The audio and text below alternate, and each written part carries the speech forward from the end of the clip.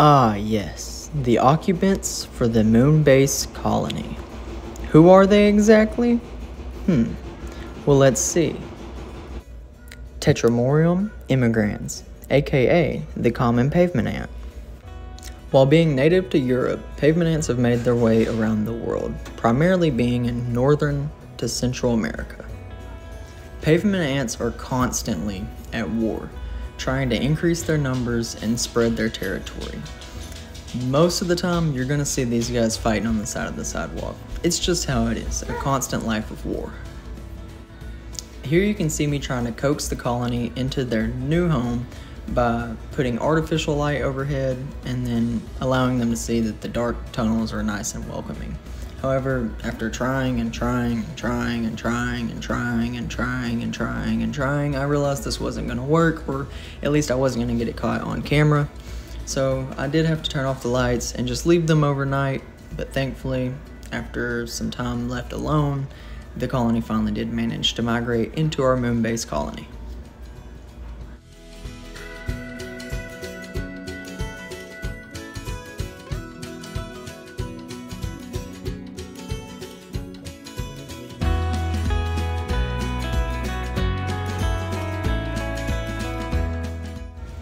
Here our colony is settling into the moon base now.